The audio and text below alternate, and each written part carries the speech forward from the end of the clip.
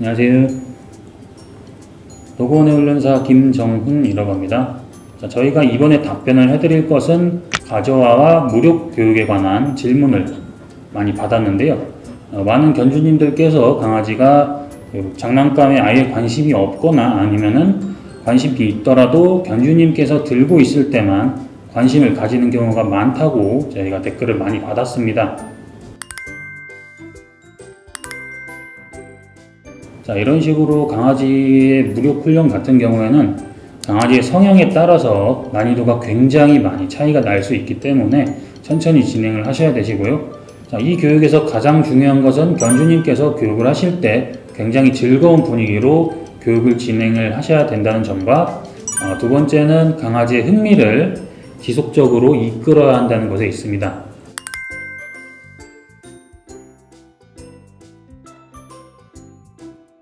강아지의 흥미를 지속적으로 이끄는 게 굉장히 어려워서 이 때문에 무력 훈련이 많이 어려워지는 경향이 있는데요. 가장 일반적인 방법으로는 장난감에 줄이나 실을 묶어서 계속해서 움직이게끔 만들어서 강아지에게 자극을 주는 방법이 있고요. 두 번째 방법은 아예 간식을 넣을 수 있는 장난감을 준비를 해서 강아지가 좋아하는 간식을 이 안에 넣는 것을 보여주고 이 장난감을 활용을 해서 계속해서 흥미를 이끌어 나가는 방법이 있습니다. 가저화 교육이 잘 안 되는 아이들 같은 경우에는 대부분의 경우 무력 훈련이 잘 안 돼 있는 경우가 많기 때문인데요. 물건에 대한 욕심 자체가 없으니까는 물건을 가져갈 생각도 들지 않는 거라 그런 아이들 같은 경우에는 가저화 교육보다는 무력 교육을 먼저 시키는 게 좋습니다. 처음에는 교육을 길게 하지 않으셔도 좋습니다. 강아지가 장난감을 가지고 노는 것에 대해서 좋은 기억을 만들고 쌓아주세요. 무력이 없는 아이들 같은 경우에는 단기간에 무력을 생기게 할 수는 없습니다. 그렇기 때문에 장기적으로 보시고 여유롭고 즐기면서 교육을 임해주세요. 자, 이제부터 저희 도구원의 강아지 바다와 함께 무력 교육을 어떻게 하는지에 대해서 시범을 보일 텐데요. 바다 같은 경우에는 이런 터보 장난감 외에는 관심이 아예 없는 강아지라고 보시면 되는데 강아지와 함께 교육을 진행할 때 어떻게 즐거운 그 분위기를 만들어야 되는지와 그리고 이 아이가 관심 없어 하는 장난감을 처음 소개할 때 어떻게 흥미를 붙여주는지 처음 단계에 대해서 저희가 시범을 보이려고 합니다. 하나.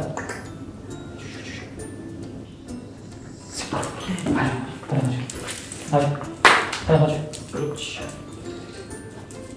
가질 거야. 하지 않나? 하지.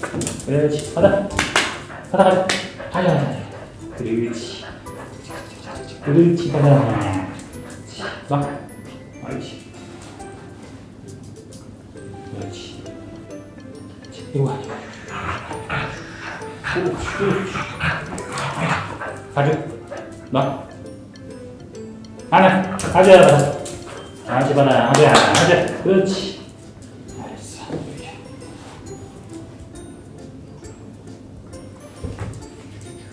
자, 이제부터 강아지의 장난감에 간식을 넣어서 하는 시범을 보일 텐데요.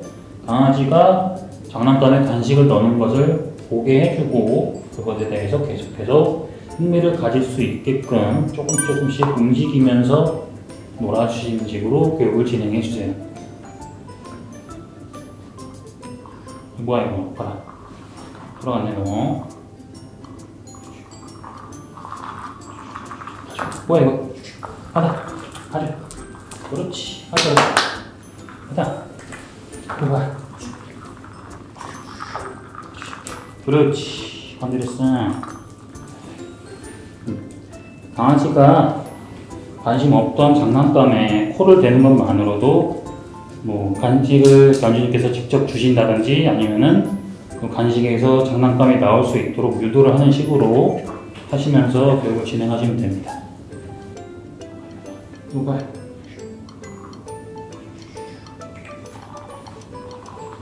가져. 그렇지. 옳지. 하다. 알겠어. 있다, 있다. 하다. 뭐야, 이거, 이거 뭐야, 이거? 장난감. 가다. 가다. 어디 갔어? 어디 갔어? 어디 갔어? 그렇지. 그렇지 바다 잘했어 자, 이제는 바다가 크게 관심이 없는 장난감을 가지고 이 장난감에 줄이나 실을 묶어서 계속해서 움직이면서 자극을 해보는 시범을 보여드리도록 하겠습니다. 바다. 이거 봐요. 이거 봐요. 바다. 바다. 가져. 이거 뭐야? 바다. 바다. 이거 뭐야? 오. 가져. 바다 가져. 가져. 옳지. 이런 식으로 움직이는 장난감을 조금이라도 관심을 가지고 쳐다보거나 건드는 것만으로도 칭찬과 보상을 많이 해주세요. 잘했네 이거 뭐야 이거. 하다. 오 옳지 그렇지. 많이 받아 잘했네. 하다. 그렇지. 이거 뭐야? 하다. 옳지. 잘했어 그래. 그렇지 그렇지. 자, 이렇게 해서 오늘은 무력이 없는 강아지들에게 어떻게 장난감을 소개시켜주고 어떤 식으로 교육을 해야 되는지에 대해서 답변을 해보는 시간을 가졌습니다. 다만 교육을 진행하실 때 어, 강아지가 줄을 신경 쓰면 안 됩니다. 저희 같은 경우에는 지금 이런 얇은, 굉장히 얇은 실을 이용을 해서 교육을 진행을 했는데요. 뭐 강아지의 산책끈이나 목줄 같은 걸 이용하셔도 문제는 없습니다. 다만 강아지가 이 줄에 대해서 신경을 쓰고 있다면은 웬만하면은 얇은 줄이나 실 같은 걸로 교육을 진행해 주세요. 자, 오늘 이 시간을 가지면서 질문사항이 있으신 분들은 이 영상 댓글란에 댓글을 남겨주세요. 그럼 저희가 확인을 하고 답변을 해드리도록 하겠습니다. 지금까지 도건의 훈련사 김정훈이었습니다. 감사합니다.